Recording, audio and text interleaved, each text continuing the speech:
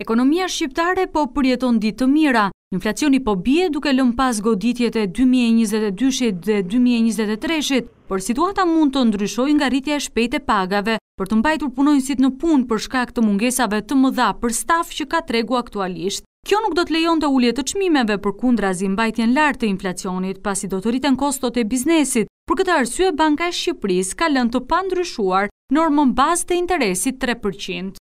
Vendimet e ardhshme të politikës monetare do të vijojnë të kushtëzohen nga informacioni i ri dhe në veçanti nga analiza dhe vlerësimet mbi ecurinë e presioneve të brendshme inflacioniste.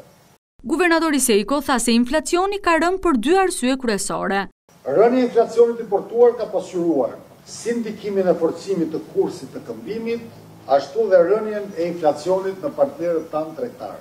Në deklaratë guvernatori Sejko i është rikthyer përsëri çështjes së mikrokredive duke ritheksuar se kanë marrë vendimet në bazë të ligjeve. Ai ka marrë gjithnjë vendime në interes të të mirës publike të vendit dhe të shoqërisë, ka monitoruar me vëmendje dhe në përputhje me mandatin ligjor zbatimin e detyrave të ngarkuara, si dhe është njohur rregullisht me raportimet e njësive organizative të bankës, përfshi edhe ato të mbikëqyrjes bankare.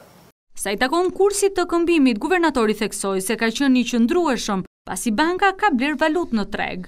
Kursi i këmbimit ka qenë relativisht i qëndrueshëm gjatë muajve të fundit, duke pasqyruar ndër të tjera edhe një nivel të lartë blerjesh valute në treg nga Banka e Shqipërisë. Këtë të mërkurë një euro po këmbehet mesatarisht me njëqind pikë shtatëmbëdhjetë lekë, duke regjistruar shifra historikisht të ulëta, ndërsa një dollar këmbehet me nëntëdhjetë e një lekë.